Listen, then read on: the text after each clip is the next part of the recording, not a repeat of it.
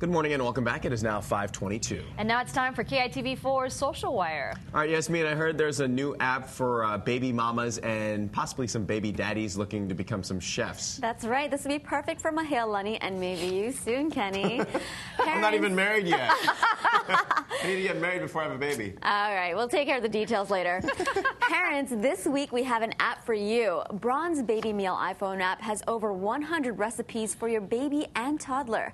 Preparing tasty, nutritious food, a way of life for your whole family, has never been easier. It includes most helpful how-to videos and saving options for your favorites, such as pear and sweet potato purees, beef stew with carrots puree, and get this, turkey and apricot burgers puree. I don't know how that'll taste, but so much more included. The recipes are collected in different age groups, beginning with 6 months old to 36 months. The app even gives you a portion estimate and how long it will take you to make. Braun's Baby Meal app is free and available on the iPhone, iTouch, and iPad.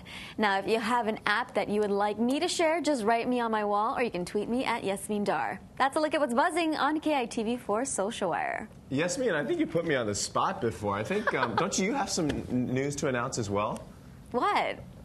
Everybody's starting all these baby rumors. yeah, now. I know. What's, what's, the what's deal? up with that? yeah, let's not start that because last time my dad almost spit out his breakfast and he was not very happy. He almost spit out his baby food, right? but I do make the baby food at home, so it is pretty fun and it's really easy and it makes the food so much more colorful delicious and colorful. It looks so tasty. I remember that one time. And she does a really good job because I saw um, we were at a picnic recently yes, and she brought right. out her baby food for mm -hmm. Sky and it was so neatly packed. I was very impressed by it and it was it was very healthy. I think it was like some kind of zucchini, yeah, some squash mix. I like but the, was, the looked, yams. They're so purple. The sweet potatoes. Oh, I'd actually rather make my own baby food than um, than make buy food it? for myself. And oh. it's, it's actually cheaper too, right? Yeah, if you, in the long run, it is cheaper to make your baby food than purchasing it. That's right. Well, now it's time to blend away to traffic and weather on the fours. Yes, mean it is 5 to 24. What's in the mix? Well, the first thing we've got for you are those.